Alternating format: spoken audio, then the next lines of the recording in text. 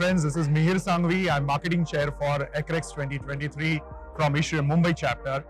And you know, every Acrex people they come across to us and they ask us, "Is bar naya kya hai? What's new?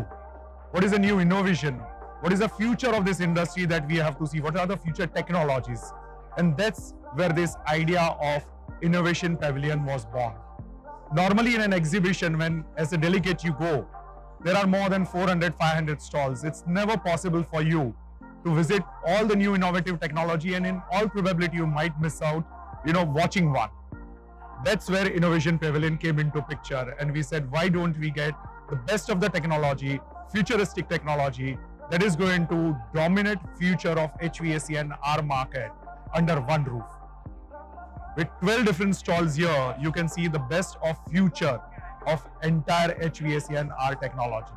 And it has been a smashing hit.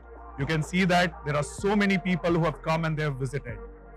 When ISHRAE approached me as managing uh, partner of Auro Engineering Company that why don't you participate? I mean, I took this opportunity to showcase my product and the kind of exposure I have got from all the influencer and user, this was something outstanding. And I'm really indebted that this particular, you know, uh, innovation zone was basically conceptualized and it was taken and it was implemented. And today you can see that so many different uh, visitor uh, exhibitors, they've got this chance of showcasing the product under one zone, which is future of HVAC and R technology. So friends, I hope you all have visited and if you have not, be part of it. And I'm very sure this would be even part of Acrex 2024.